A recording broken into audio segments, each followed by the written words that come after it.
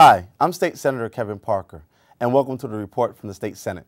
I represent the 21st District in Brooklyn, which is Flatbush and East Flatbush, Midwood, Ditmas Park, Kensington, Windsor Terrace, and Borough Park. Um, actually, in Park Slope, new districts. Uh, today, we're actually talking about something very, very serious. It is Homeland Security. And I'm uh, really, really pleased to be joined today by the Commissioner of the New York State Division of Homeland Security, uh, Commissioner Jerome Hauer. Commissioner, welcome. Good being with you. Yes, man. thank you. Yeah, thanks for, for being here. This is not the, our first conversation, No, but. I want to make sure that people uh, really understand who you are and what you've done. Uh, you have a long and really distinguished career, uh, you know, working you know around security issues and, Yeah. and, and safety. Can you just talk a little bit about that? Two presidents, two mayors, and now my second governor. Wow. Um, just shows I can't hold the job.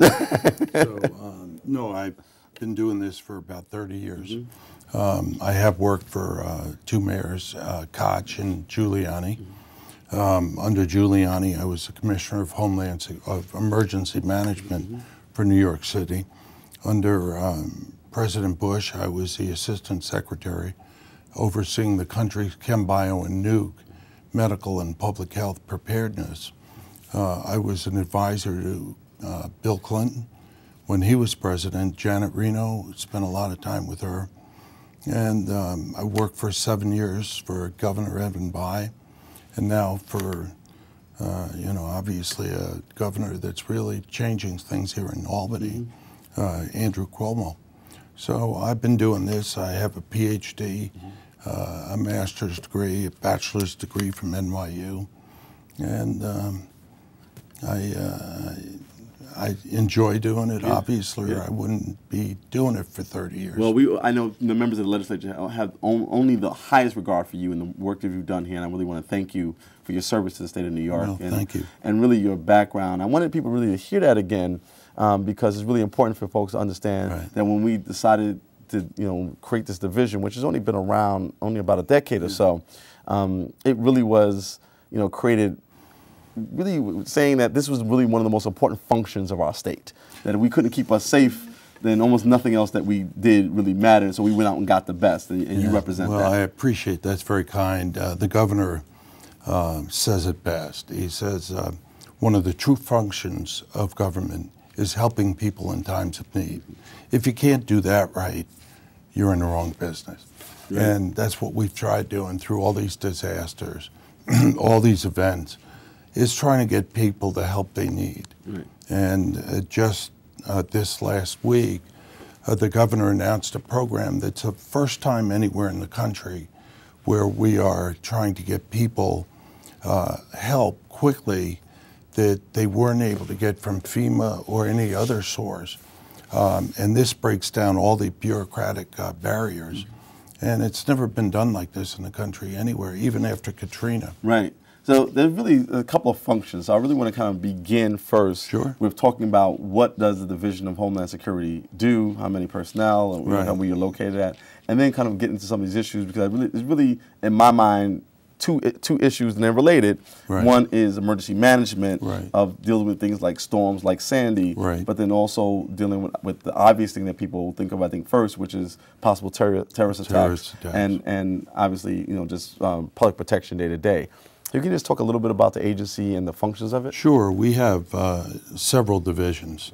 We have the Office of Interoperability, which um, we just gave out uh, through grants $102 million so that the counties can put together programs so they can talk with one another, so all agencies can talk with one another. Right. If we bring people in from New York City to help during a disaster upstate, as has happened many times, we want to ensure they're able to talk to people.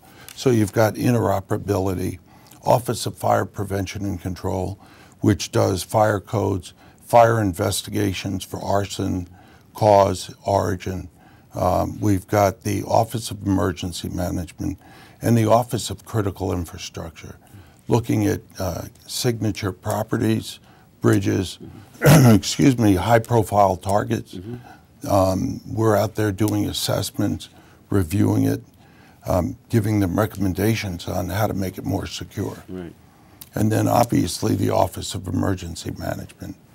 where we get people prepared, where we respond following an incident, sometimes even before. Hurricane Sandy is a good example. Um, in talking with the governor, um, he wanted us to be very aggressive, and we were. We had people in Nassau, Suffolk, New York City, Westchester, in their emergency operating centers. By the time the storm hit, they were there working with the counties, ready to bring in the resources that were necessary. Once the storm hit and we had a good assessment of what was going on, right. the governor sent in the National Guard. We had several hundred state troopers down in Nassau and Suffolk County helping them out. So the approach is very aggressive. We want to be there beforehand so that when something happens, we're ready and have all the resources in place. How many how many people work for the agency? About 400. Wow. Uh, and they're and they're located across the state. The whole state. We have 10 regions around the state. Each region is run by a regional director, and each regional director has staff members. When they're not responding to disasters, they're out there helping counties plan, make sure they have the right tools, the right plans. Uh, they help them do exercises, drills. Um, and when something happens, they've got a relationship with the counties. And the counties know to turn to them when they need state assets. Right. The interoperability uh, issue is something that I've dealt with a great deal myself. I'm the ranking member on the Energy and Telecommunications sure. Committee. And clearly, um, one of the things we found out about interoperability was uh, it was a problem during 9/11, where literally the New York City Police Department and actually the transit police couldn't even talk to each other. Yeah. Um, and other uh, agencies, fire department, others didn't have a, a, uh, a communication system. And it, it seems like right. now it seems basic, but at the time, no one had really thought about it because we really thought about these things very separately. Um, but right. now we've had you know more experience with this, we, we really see how interconnected uh, these different systems oh, are. It's absolutely critical that first responders, whether they're first responders from within the state or first responders that come from outside the state, after Sandy, we brought in 350 ambulances to ensure that the counties had the right infrastructure uh, to handle all the medical calls. Um, and they were used, they were used quite heavily. Again, that's part of the governor's Be Aggressive program. But we, without interoperability, they couldn't have talked to the local ambulance companies, the, the local fire departments, the local police departments. So interoperability opens a lot of doors for the federal, state, and local governments to all talk together. Right. Critical issue. Right. So let's talk, you know, specifically. You know, unfortunately, we have just come off, you know, are still in the wake of the bombing during yeah. the Boston Marathon. Can you talk about one? Um, what that means in terms of New York, because obviously when something like that happens, even in another city, right. but Boston is fairly close geographically, that sets off some, you know, reaction in, in the state of New York and how do we respond to, to those kind of threats and um, those kind of problems? There's a couple components to that. Um, first of all, we were getting information uh, through the FBI throughout the process. Uh, I was on the phone with Ray Kelly in New York City on a regular basis, and Ray and I exchanged notes. Uh, he's always very helpful, uh, and he has a very good intelligence apparatus. And it became clear for at least this event that this was a couple guys that uh, had a, been radicalized and were aiming for Boston. Had they not uh, been captured or killed, they probably would have been in New York next. So that's why it's critical that information is exchanged before an event, right. during an event, and after an event. So we um, we have the Fusion Center, the, the intelligence center up here in Albany. Uh, state police, my staff, uh, FBI, uh, other federal law enforcement are all in the same place exchanging notes, both on criminal activity and terrorism activity. We look down the road to see what the coming threats are going to be. We look at what we have to deal with now because some of this is preventable some of it is not. Uh, the more uh, lone wolf they are, the more difficult it is to prevent because it's very hard to infiltrate a group when it's one person or maybe two. But every now and then we get a dumb ter- terrorist, and we get lucky.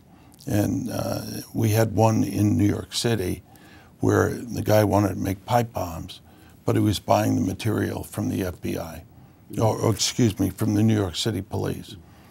And they brought him down before he was able to do anything. And the material they were giving him was all inert, so it wouldn't have done anything. They've been very effective at, at getting these uh, incidents before they become problems.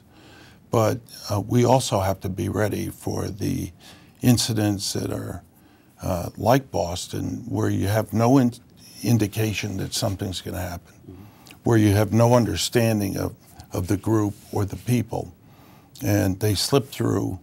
They they make their own bombs, uh, or they bring them with them, and they go in. And even though the they may only kill uh, a smaller number of people, once you uh, do that terrorist event, it has an emotional impact on mm-hmm. people. And I don't want to minimize Boston. Uh, it was a horrible event. We were very fortunate that the number killed was as low as it was. And part of that was good medical care on the ground. They had doctors right there at the finish line, paramedics, EMTs, and they got them to hospitals in Boston very quickly. In New York City, we're very used to dealing with that. You know, I can't tell you how many subway incidents I've been to between the tunnels between Manhattan and Brooklyn where you have 500 patients, mostly heat or smoke. Um, and New York, uh, like Boston, is very adept at dealing with these kinds of incidents. Right. But we have to make sure we're always one step ahead. How should people be preparing um, for emergencies? Good question. A um, couple things. I think FEMA has a notion that you should prepare for three to four days. I have been telling people for the last three or four years you got to be prepared for seven to 10 days after an incident. And Hurricane Sandy proved that. Um, the governor's been out very aggressively telling people they need to be part of the preparedness paradigm. Right. The more prepared people are in the community, the more likely they are to be able to help themselves, their family, and their neighbors. I don't know if you remember the heat wave back in about 98. I was working for Mayor Giuliani at that time uh, year or two before that, Chicago had a heat wave, uh, lost uh, over 600 people. I remember that too. 90% of the deaths were preventable. We did things like got people to check on their elderly neighbors. We set up cooling centers. We set up shelters where people could go sleep where it was air conditioned. We did outreach to the elderly. Um, and thank God we, we had a, a small, we had 12 deaths, uh, six of which were drug addicts. Mm-hmm. Dur- when during the heat, the drugs make you more hyperthermic, and that put stress, and we lost six drug addicts. Some of the other people were elderly, living alone. People need to understand that preparedness is not a game, it's not a joke. It, if you're not prepared uh, when something happens, you put your, your, you and your family in jeopardy.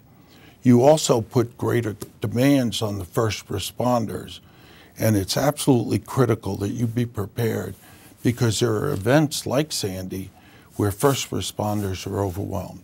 So if you have enough medicine stored away, if you have water, flashlights, and absolutely important is a radio, a portable radio, a hand cranked one because that's where you'll get most of your information when the power goes out.